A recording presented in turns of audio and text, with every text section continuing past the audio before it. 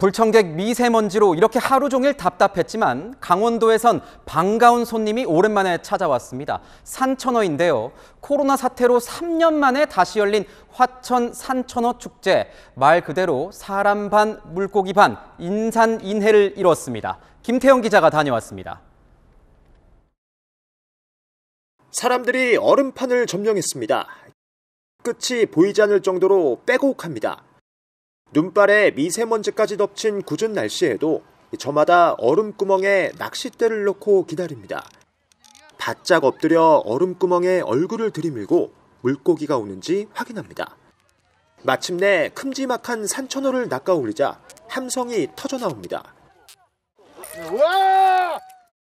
매년 100만 명 넘는 관광객이 찾는 국내 대표 겨울축제, 화천 산천어 축제가 막을 올렸습니다. 코로나19 여파에 이상 기온까지 겹쳐 파행을 거듭한 지 3년 만입니다.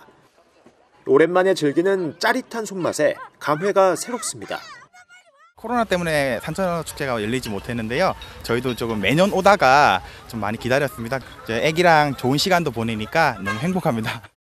친구들과 함께 재밌게 놀러 왔는데 3년 기다린 만큼 고기도 잘 나오고 확실히 더 재밌는 축제인 것 같습니다. 산천어 체험장들 입장!